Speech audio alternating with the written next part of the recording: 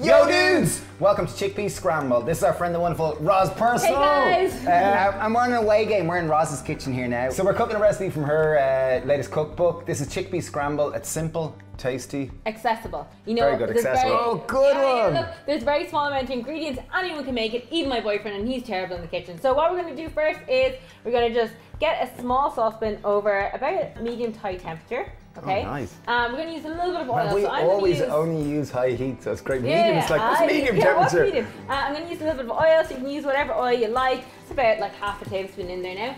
Um, I'm using avocado oil, it's a really nice high smoke point. Um, Ooh. what I have here is some drained and rinsed chickpeas. So why do we drain and rinse the chickpeas? Reduce the Uh, reduce the wind power. Oh power. yes, flatulence. So I'm gonna pop in my chickpeas. Nice fried chickpeas. That's pretty cool. Yeah. Okay, I like this. Chickpea scramblers. Yeah, we're gonna just give it a so stir around. this is a brekkie recipe or a dinner recipe Oh or my god, I have it for breakfast, lunch, and dinner. Like my Wow. parents have just turned vegan, and they swear by this recipe. They make it all the time. And like, if you can turn my dad, who was a beef farmer, into a chickpea scramble lover, you know, anything's possible. Wow. So I'm gonna pop in some nutritional yeast. Why do we love nutritional yeast? Uh, brings a cheesy note, brings B12. It's kind of an really ice- tasty. It's like Umami the best flavour. thing ever. Yeah, of yeah. everything. So I'm gonna put in about two tablespoons. You can put That's like, very generous. Yeah, Two Yeah, tablespoons. yeah. no, Roz listen, likes it is nuke. so so good, right? I'm gonna put a little bit of cumin. Like you can go check out my on my blog paprika. naturalbeans.com. Yeah, I'm gonna pop in some. Oh, yeah, that's almost gone. I need to. I almost Almost. some new paprika. There's no, al- there's no almost there. Can we put in a little bit of paprika? So many different combinations of flavors you can make using this. You can make a curry chickpea scramble, so many different things. Um, I like to keep it simple, like cumin, maybe like turmeric and a little bit of pa- paprika. And salt, will I And a little bit of salt, yeah.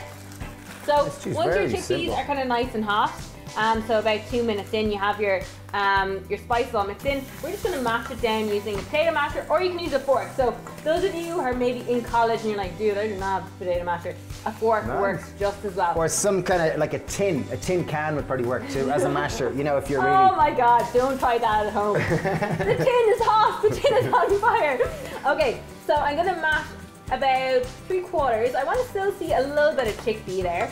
Um, and look, that is perfect. So how long does that take me to do? About 30 seconds? Jeez, I really Yeah. admire the sheer accessibility of this. Yeah. And like the fact And that your then- mom and dad, like, if you didn't want to pimp it out, you could put coriander, you could Oh, put in any so sort of greens to make it pop a lot. And Make it. that's how quick and easy it is to Boom. make. So- Um, I like to serve it with some, maybe some toasted sourdough. Your pesto is so Oh, wait, good. are You we can gonna- definitely get some pesto. Uh, we've got a vegan It's pesto that's coming out. Well, it's on, in Waitrose. It's in the UK.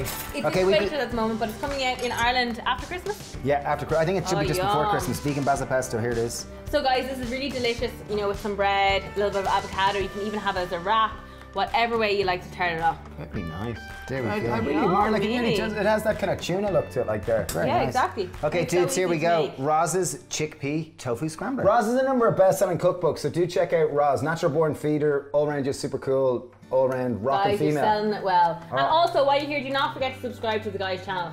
So what do you think? Beautiful. Yum. Yummy, yeah. Delicious. Lovely, simple, Yay. accessible, delicious. Really, really tasty. Dudes, check out Roz. Thank you for watching. Thank you for subscribing. And mwah, mwah, bye.